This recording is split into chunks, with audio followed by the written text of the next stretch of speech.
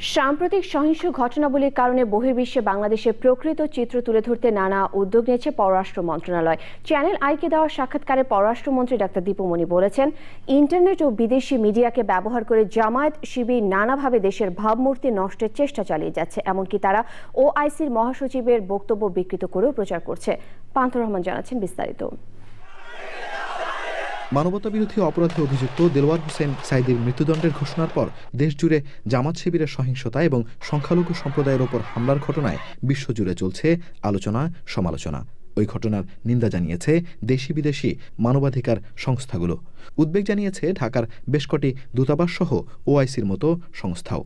তবে ওই প্রতিষ্ঠানগুলোর বিজ্ঞপ্তিগুলো ইচ্ছেমতো রং দিয়ে প্রোপাগান্ডা চালাচ্ছে জামাত শিবির। এমন অভিযোগ মানেন পররাষ্ট্রমন্ত্রীও। শুধু এই অপপ্রচারণা চালানোই নয়, এরা সারা বিশ্বেই কিন্তু বাংলাদেশের ভাবমূর্তি ক্ষুণ্ণ করতে চায় এবং বিভিন্নভাবে আমাদের এই যুদ্ধাপরাধীদের বিচার প্রক্রিয়াকে তারা নস্বাত করবার চেষ্টা চালাচ্ছে। সে কারণে সারা বিশ্বে তারা বিভ্রান্তি ছড়াবার চেষ্টা করছে।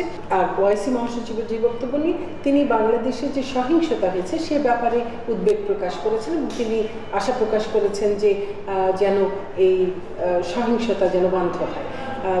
কিন্তু তারা এটিকেই একেবারে ভিন্ন জায়গায়।